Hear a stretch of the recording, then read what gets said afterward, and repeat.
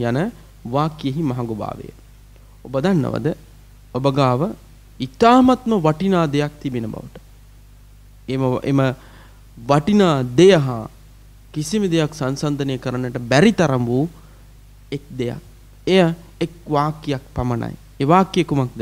ලා ඉලාහා ඉල්ලල්ලාහ්.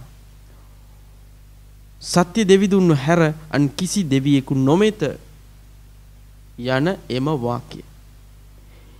මෙම වාක්‍යයට අදාළ වූ සිදුවීමක් පිළිබඳව එහි මහඟු භාවයේ ගෙනහැර දක්වන ආකාරයේ සිදුවීමක් පිළිබඳව නබිනායකතුමා පවසනකොට. නබිනායකතුමා පැවසූ පොතක් පිළිබඳව අබ්දුල්ලාහ් ඉබ්නු අම්ර් රදියල්ලාහු අන්හුතුමා වාර්තා කරනවා. එය අහ්මද් ග්‍රන්ථයේ සඳහන් වී තිබෙනවා.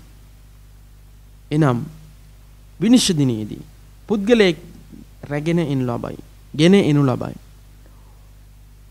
ඔහුව එක පැත්තකට ඔහුගේ කුසල් සමග එක පැත්තකට එක තරාදී එක පැත්තකට තබා තව පැත්තක ඔහුගේ අකුසල් තබනු ලබනවා. ඔහුගේ අකුසල් පැත්ත බරින් වැඩි වී ඔහුට තීන්දුව ලැබෙනවා අපායට ගෙන යන ලෙස. ඉනනතුරුව ඔහු රැගෙන යන ඒ මොහොතේදී හයියෙන් ශබ්ද නගා කෙනෙකු පවසනවා ඔහුව අපායට රැගෙන යන්න එපා.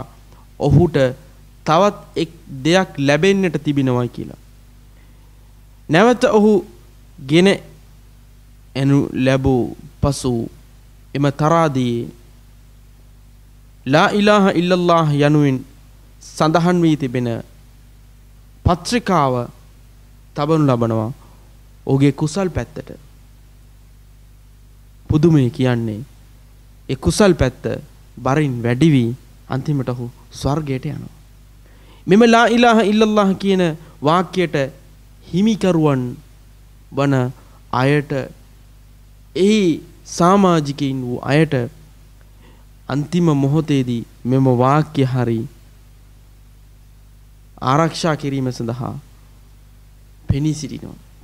එනිසා අපි ලබාගෙන සිටින මෙම භාග්‍ය අපගේ අනිසි ක්‍රියාවන් නිසා නැතිකර ගැනීමට කටයුතු නොකර අපි ඊ타මත්ම සැලකිලිවන්ත ලෙස කටයුතු කළ යුතුයි. අල්ලාහ් අපි සියලු දෙනාට එම වාග්ය ලබා දෙත්වා.